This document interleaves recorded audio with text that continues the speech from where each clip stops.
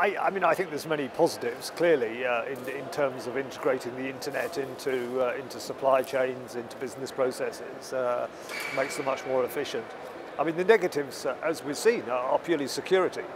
I mean, it's just totally unacceptable that, uh, that uh, you know, baby alarms or various other cameras can be taken over and used as, as you know, used to in denial of service attacks. So we have to do something about that.